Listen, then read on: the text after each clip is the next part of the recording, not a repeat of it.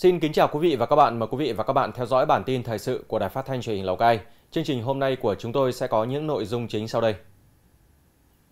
Ủy ban nhân dân tỉnh Lào Cai làm việc với đoàn công tác tư vấn STSA của Ngân hàng Phát triển châu Á về dự án hỗ trợ kỹ thuật phát triển đô thị thích ứng và bền vững.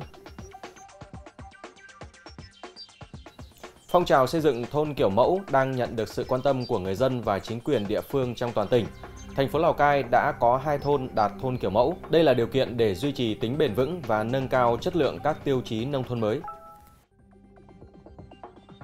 Hơn 80% diện tích lúa vụ mùa ở phường Bình Minh, thành phố Lào Cai bị lép hạt, nhiều nông dân có nguy cơ trắng tay. Sau đây là nội dung chi tiết chương trình, mời quý vị và các bạn cùng quan tâm theo dõi. Thưa quý vị và các bạn, ngày 24 tháng 10, đồng chí Nguyễn Thanh Dương, Ủy viên Ban Thường vụ tỉnh ủy, Phó Chủ tịch Ủy ban dân tỉnh Lào Cai đã có buổi tiếp và làm việc với đoàn công tác tư vấn FTSA của Ngân hàng Phát triển châu Á về dự án hỗ trợ kỹ thuật phát triển đô thị thích ứng và bền vững. Tại cuộc làm việc, đồng chí Nguyễn Thanh Dương, Phó Chủ tịch Ủy ban nhân dân tỉnh đã giới thiệu tổng thể vị trí địa lý, tình hình phát triển kinh tế xã hội của tỉnh và nhấn mạnh vào một số vị trí tiềm năng trọng điểm để tập trung đầu tư phát triển dự án trên địa bàn tỉnh Lào Cai. Đồng chí Phó Chủ tịch Ủy ban nhân dân tỉnh cho biết, tỉnh Lào Cai cũng nằm trong tổng thể chung của các đô thị quốc gia và đang trong quá trình phát triển đô thị. Do đó, tỉnh Lào Cai mong muốn đoàn công tác tư vấn STSA có những nghiên cứu giúp tỉnh định hướng phát triển đô thị theo hướng bảo tồn và phát huy những giá trị di sản hiện có. Đoàn công tác tư vấn STSA đánh giá cao tầm nhìn của tỉnh về phát triển đô thị, thích ứng với biến đổi khí hậu, đồng thời giới thiệu khái quát về dự án hỗ trợ kỹ thuật phát triển đô thị thích ứng và bền vững với mục tiêu gắn phát triển kinh tế xã hội với phát triển bền vững đô thị, bảo vệ môi trường, tăng trưởng xanh. Qua tìm hiểu vấn đề quy hoạch phát triển đô thị của các tỉnh thành của Việt Nam, đoàn sẽ nắm được vấn đề chung và riêng của từng đô thị, từ đó tư vấn cho ADB hỗ trợ Việt Nam. Sau buổi làm việc với lãnh đạo Ủy ban nhân dân tỉnh, đoàn công tác tiếp tục làm việc với các sở ngành có liên quan và khảo sát thực tế tại một số địa điểm trên địa bàn tỉnh. Thưa quý vị và các bạn, cuối năm 2015, tất cả các xã của thành phố Lào Cai đã công bố đạt chuẩn xây dựng nông thôn mới. Để nâng cao chất lượng các tiêu chí, thành phố lựa chọn 6 thôn ở các xã xây dựng thôn kiểu mẫu. Vào sáng ngày 24 tháng 10, Ban chỉ đạo chương trình Mục tiêu Quốc gia về xây dựng nông thôn mới thành phố Lào Cai đã tổ chức lễ công bố thôn Cóc 1 và Cóc 2, xã Tà Phời đạt chuẩn thôn kiểu mẫu nông thôn mới. Dự buổi lễ có đồng chí Mai Đình Định, Ủy viên Ban Thường vụ Tỉnh ủy, Bí thư Thành ủy, Chủ tịch Hội đồng nhân dân thành phố Lào Cai. Xã Tà Phời vốn là địa phương khó khăn nhất của thành phố Lào Cai. Khi công bố đạt chuẩn xây dựng nông thôn mới vào cuối năm 2015, các tiêu chí xây dựng nông thôn mới cũng chỉ ở mức tối thiểu. Lựa chọn hai thôn là Cóc 1 và thôn Cóc 2 xây dựng thôn kiểu mẫu được xem là mô hình thực tế để các thôn khác của xã học tập làm theo với mục tiêu duy trì tính bền vững và nâng cao chất lượng các tiêu chí. Phải làm thật tốt cái công tác tuyên truyền. Đấy, tuyên truyền để cho người dân người ta hiểu và người ta tự vươn lên, người ta làm, xây dựng cái nông thôn mới và thôn kiểu mẫu. Thực sự là để làm cái bộ mặt ừ, nông thôn được thay đổi và cái tinh thần vật chất của người dân được nâng lên và cái diện mạo của nông thôn ngày được đổi mới. Từ những cái kết quả đó, nhân dân người ta cũng nhìn thấy và các mô hình để được phát triển. Thì ờ, nhân dân nhìn thấy thì cho nên là người dân họ rất là tích cực để phối hợp với chính quyền địa phương triển khai thực hiện một trong những yếu tố làm nên thành công của chương trình xây dựng nông thôn mới chính là việc tạo điều kiện để người dân được tiếp cận với tiến bộ khoa học kỹ thuật, thay đổi nhận thức trong phát triển kinh tế. Không bỏ phí 60 hecta chè của xã Tà Phời đang trong thời kỳ phát triển khi mà doanh nghiệp không thu mua. Bốn hộ dân ở thôn Cốc 2 đã cùng nhau đầu tư mua máy sao sấy chè tại địa phương. Từ hai năm nay, công việc làm chè ổn định, nhân dân bán chè búp với giá trên 7.000 đồng mỗi kg, cao hơn so với bán cho doanh nghiệp đến hơn 1.000 đồng. Nhóm hộ dân này cũng chủ động tìm đầu ra cho sản phẩm và xây dựng mối liên kết chặt chẽ với các hộ dân, giúp cho công việc sao sấy chè luôn ổn định. Hái được nhiều, chúng tôi cũng sao nhiều, hái được ít sao ít, không thiếu ngày nào. Thì ngày nào có sao, sao ngày đấy. Nên là bây giờ là cái chè thì rất là ổn định. Nhưng mà đang mong uh, bà con cố gắng phát triển về cái vườn chè cho nó rộng thôi. Đấy, nếu mà nếu mà phát triển chè rộng ấy, thu nhập nhập nhiều đấy, chúng tôi phải mua tiếp cái máy to hơn.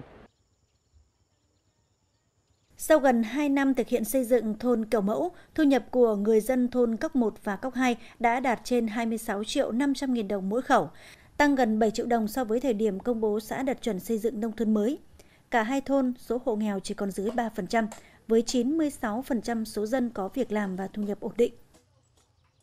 Làm xong cái mô hình thí điểm ờ, là tà thời ờ, thôn Cốc 2 này, thì khi mà đã được ký kết thêm từ các diện tích thì lúc đấy mới bắt đầu là liên kết đến với các hộ nông dân trong ờ, thôn và trong xã để tiếp tục phát triển dự án mở rộng hơn. Phát biểu tại lễ công bố thôn kiểu mẫu, đồng chí Mai Đình Định, Ủy viên Ban Thường vụ tỉnh ủy, Bí thư Thành ủy Lào Cai yêu cầu nhân dân hai thôn tiếp tục duy trì và nâng cao hơn nữa chất lượng các tiêu chí trong xây dựng thôn kiểu mẫu, đặc biệt là nhóm các tiêu chí về môi trường. Đây là nội dung phải được thực hiện thường xuyên, hàng ngày nhằm nâng cao chất lượng cuộc sống của nhân dân.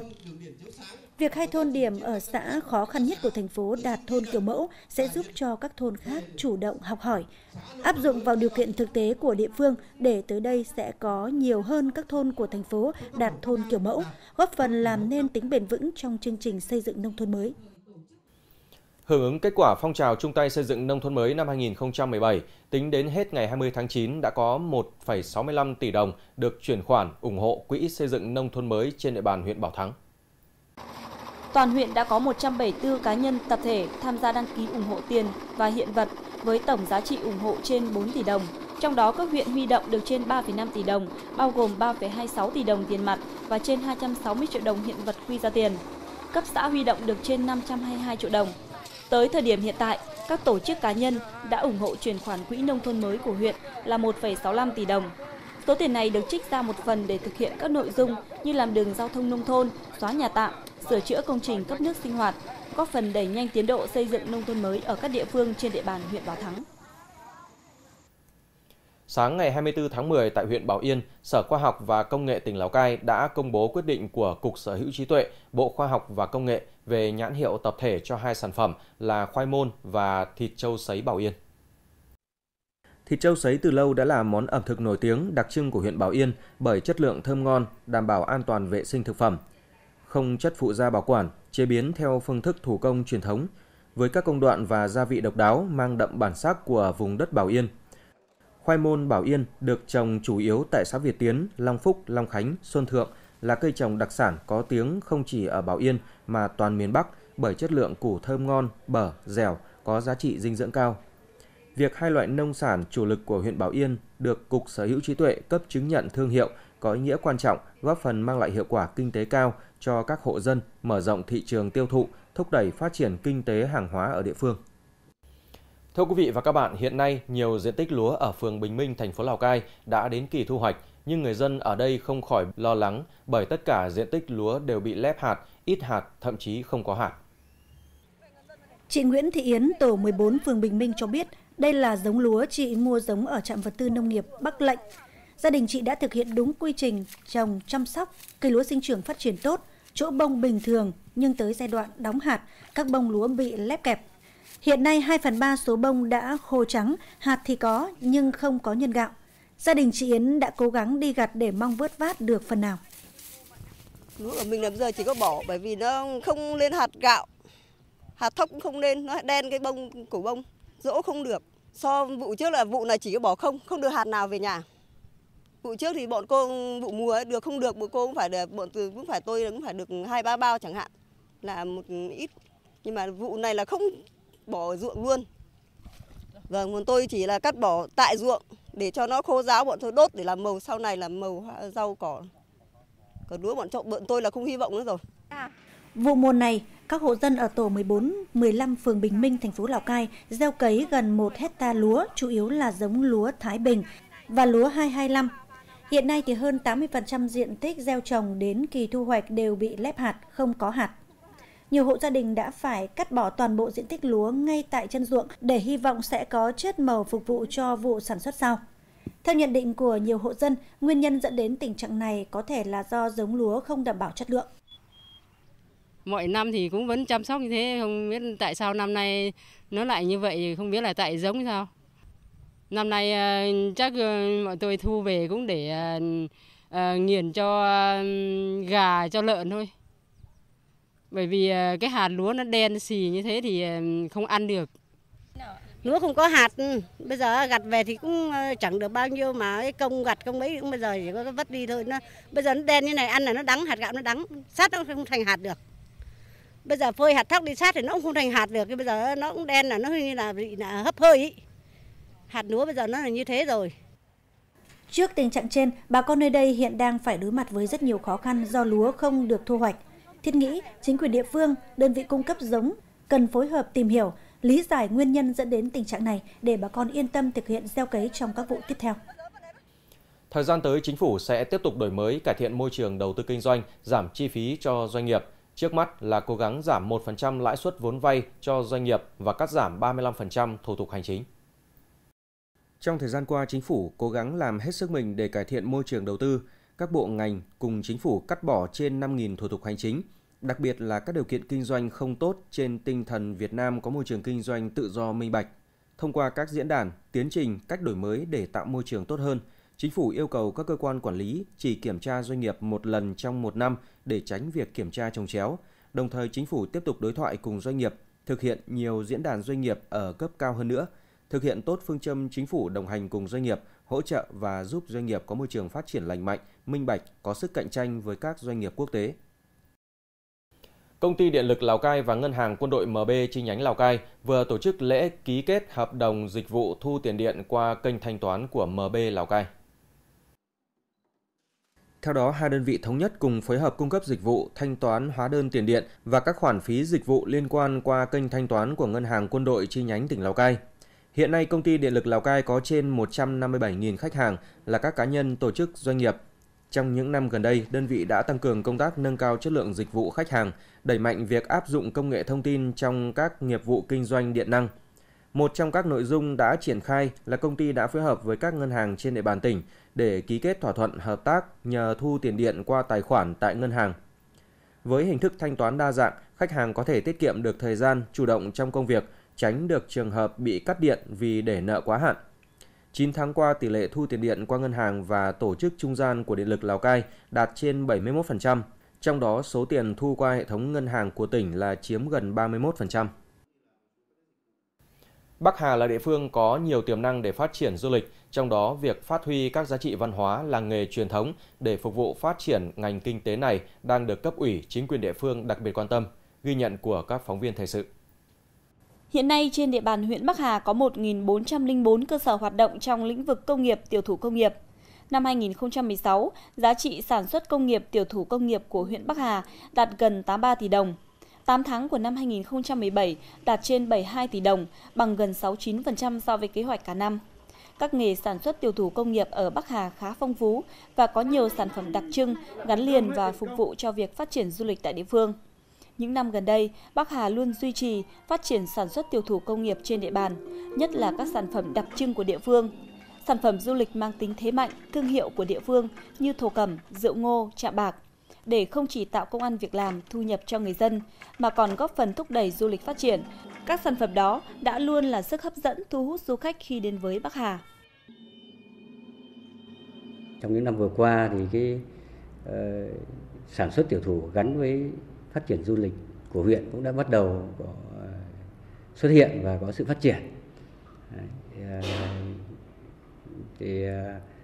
người khách du lịch đến Bắc Hà là họ cũng trải nghiệm vào quá trình sản xuất cũng như là uh, mua những sản phẩm tiểu thủ công nghiệp bởi vì uh, những cái tiểu thủ các sản phẩm tiểu thủ công nghiệp cũng như quá trình sản xuất là nó kết tinh những cái nét văn hóa của các dân tộc địa phương đây là một trong những cái hấp dẫn của khách du lịch một trong những nhân tố quan trọng nhất để phát triển các làng nghề gắn với phát triển du lịch chính là kinh phí. Bởi vậy, tỉnh cần có ưu tiên các nguồn lực nhất định để triển khai có hiệu quả chương trình phát triển du lịch giai đoạn 2016-2020, đặc biệt là nguồn vốn khuyến công quốc gia, trong đó ưu tiên vốn cho phát triển du lịch làng nghề. Ngoài nguồn ngân sách, khuyến khích các nguồn vốn đầu tư từ doanh nghiệp, coi đây là nhân tố chủ yếu trong phát triển du lịch làng nghề, xứng tầm và đạt hiệu quả cao. Trong xu thế phát triển mới, tỉnh cần có cơ chế khuyến khích thành lập các hội, hiệp hội làng nghề, nhất là các nhóm du lịch làng nghề để ưu tiên phát triển. Hiệp hội sẽ đóng vai trò quan trọng trong việc định hướng sản xuất, tìm kiếm thêm thị trường, đầu mối với các doanh nghiệp du lịch, tổ chức các tour đưa du khách đến với các làng nghề. Ừ, định hướng phát triển tiểu thủ công nghiệp thì theo cái chương trình của chính phủ cũng như theo cái đề án của tỉnh về phát triển ờ, du lịch là cái ờ, cái là ngành công nghiệp mũi nhọn ờ, trong cái thời gian tới. Thì đối với ngành công nghiệp Lào Cai của chúng tôi thì cũng đang đẩy mạnh về cái việc hỗ trợ cái sản phẩm tiểu công nghiệp gắn với cái hoạt động du lịch.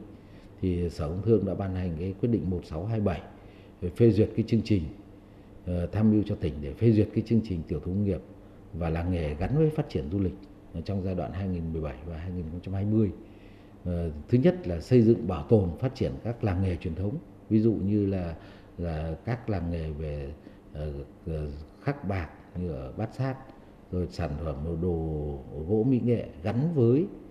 cái sản phẩm du lịch ở các khu vực như ở Sapa, như ở Bắc Hà, rồi các sản phẩm về rượu truyền thống làng nghề về cái rượu truyền thống nhưng mà sản xuất trên dây chuyền mà đảm bảo về cái vệ sinh an toàn thực phẩm. Thế và chính sách khuyến công thì tập trung vào hỗ trợ các sản phẩm đặc trưng như sản phẩm chè, rượu, tinh dầu quế, atiso, mật ong, thịt, măng vân vân. Đấy là những cái sản phẩm nông nghiệp mà có thế mạnh của chúng ta ờ, hiện nay và cái đó được gắn cái thương hiệu ờ, sẽ đưa cái sản phẩm từ cái sản phẩm thô đến sản phẩm có chế biến đến sản phẩm có thương hiệu để đáp ứng với cái du lịch ngày càng tăng của của tỉnh trong thời gian tới. Có thể khẳng định, phát triển loại hình du lịch làng nghề mang lại lợi ích về kinh tế, tạo việc làm và nâng cao thu nhập cho người dân, giữ gìn và bảo tồn những giá trị văn hóa truyền thống. Nếu phát huy được hiệu quả của các làng nghề truyền thống gắn với du lịch thì lợi ích mang lại là rất lớn. Nội dung quy hoạch phát triển tiểu thủ công nghiệp gắn với du lịch của huyện Bắc Hà sẽ được chúng tôi đề cập cụ thể hơn trong chuyên mục Khuyến công Lào Cai sẽ phát sóng ngay sau chương trình thời sự này. Mời quý vị và các bạn cùng quan tâm theo dõi.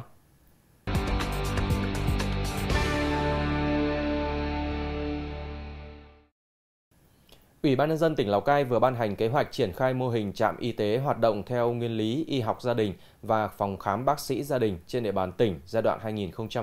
2017-2020.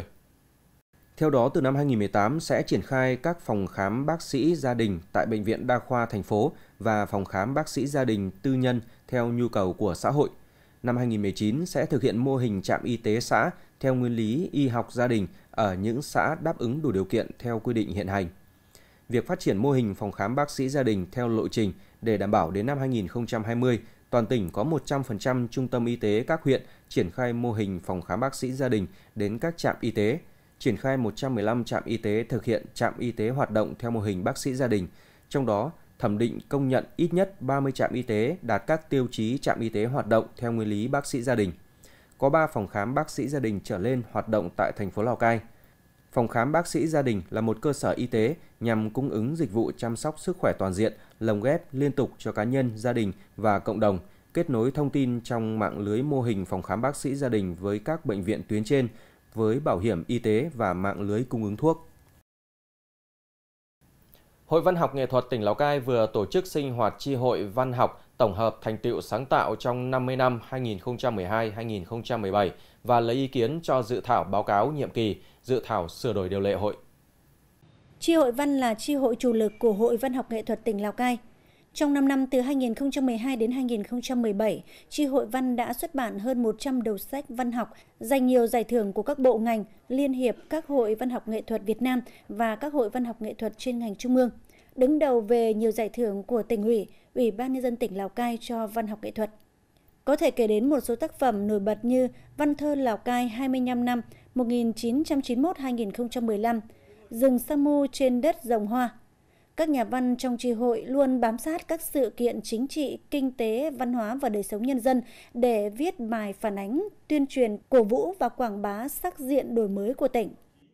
Tại buổi sinh hoạt, các hội viên đã cùng nhau thảo luận và đóng góp ý kiến về dự thảo báo cáo nhiệm kỳ để tri hội văn hoạt động hiệu quả hơn trong thời gian tới, như cần tổ chức bồi dưỡng nhận thức tư tưởng chính trị cho hội viên, tăng cường quảng bá tác phẩm đến đông đảo độc giả, đưa các tác phẩm như tạp chí Phan Xipang về các đồn biên phòng, tăng cường sinh hoạt và tổ chức sáng tác về chủ đề biên phòng và khai thác bản sắc văn hóa dân tộc.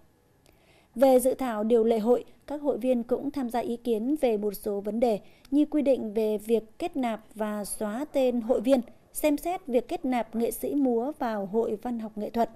Những ý kiến đóng góp này là cơ sở để Thường trực Hội sửa đổi bổ sung vào điều lệ hội trong nhiệm kỳ tới. Tại sân vận động tỉnh Lào Cai đã diễn ra lễ khai mạc giải vô địch bóng đá tỉnh Lào Cai năm 2017. Đây là giải đấu nằm trong khuôn khổ Đại hội Thể dục Thể thao tỉnh lần thứ 6 năm 2018. Giải vô địch bóng đá tỉnh Lào Cai năm 2017 do Sở Văn hóa Thể thao và Du lịch tỉnh phối hợp với Hội Liên hiệp Thanh niên tỉnh Lào Cai tổ chức. Giải đấu năm nay quy tụ hơn 100 vận động viên đến từ 8 đơn vị trong tỉnh, gồm Bảo Yên, Bảo Thắng, Bát Sát, Bắc Hà, Mường Khương, Văn Bản, thành phố Lào Cai và Sở Giáo dục và Đào tạo. Các đội được chia thành hai bảng AB, thi đấu theo luật bóng đá 11 người và thể thức vòng tròn tính điểm. Theo lịch thi đấu, 12 trận vòng loại sẽ diễn ra trong 3 ngày, 24, 25 và 26 tháng 10. Ngày 28 tháng 10 sẽ diễn ra hai trận bán kết. Trận chung kết sẽ diễn ra vào lúc 14 giờ ngày 29 tháng 10. Giải bóng đá là sân chơi để đoàn viên thanh niên các đơn vị giao lưu học hỏi và phát huy khả năng năng khiếu của bản thân. Đồng thời qua giải đánh giá được phong trào luyện tập thể dục thể thao, đặc biệt là môn bóng đá trên địa bàn tỉnh. Thời gian qua, công tác tuyên truyền, tuần tra, kiểm soát và xử lý vi phạm quy định nồng độ cồn đã được các lực lượng chức năng trên địa bàn tỉnh Lào Cai tăng cường, đặc biệt là trong những tháng cuối năm 2017. Từ đầu năm đến nay, lực lượng cảnh sát giao thông công an tỉnh Lào Cai đã xử lý 483 trường hợp vi phạm về nồng độ cồn khi tham gia điều khiển phương tiện tham gia giao thông. Trong đó có gần một nửa trường hợp vi phạm là ô tô với mức chịu phạt cao nhất từ 17 đến 18 triệu đồng. Theo lực lượng chức năng, trong quá trình kiểm tra xử lý vi phạm, nhiều trường hợp lái xe ô tô không chấp hành đo nồng độ cồn, tự ý để lại phương tiện rồi bỏ đi, khiến lực lượng cảnh sát giao thông gặp không ít khó khăn trong việc xử lý vi phạm. Nhiều trường hợp vi phạm cố tình cự cãi, đối co với cảnh sát giao thông khi biết mức xử phạt của mình ở mức cao nhất. Sau hơn một năm triển khai, điều đáng mừng có thể nhận thấy là nhận thức của người dân đối với sử dụng rượu bia khi tham gia giao thông được nâng lên rõ rệt. Hiện lực lượng cảnh sát giao thông công an tỉnh đã lên kế hoạch tăng cường công tác tuần tra, đảm bảo trật tự an toàn giao thông trong những tháng cuối năm. Trong đó vẫn đặc biệt chú ý đến xử lý vi phạm liên quan đến nồng độ cồn. Vào khoảng 2 giờ tối ngày 23 tháng 10, tại ngã tư giao cắt đường Võ Nguyên Giáp và đường Phú Thịnh thuộc địa phận phường Bắc Cường, thành phố Lào Cai đã xảy ra một vụ tai nạn giao thông giữa hai xe mô tô. Va chạm xảy ra giữa hai xe mô tô mang biển kiểm soát 81F44469 và 24B100724 khiến 4 người bị thương nhẹ. Một số người dân chứng kiến vụ việc cho rằng một trong hai xe đi quá tốc độ, có biểu hiện lấn làn không làm chủ tốc độ. Như chúng tôi đã đưa tin, trước đó vào ngày 22 tháng 10, tại đoạn đường này cũng xảy ra vụ tai nạn giao thông giữa hai xe mô tô khiến 4 người bị thương phải đưa đi cấp cứu.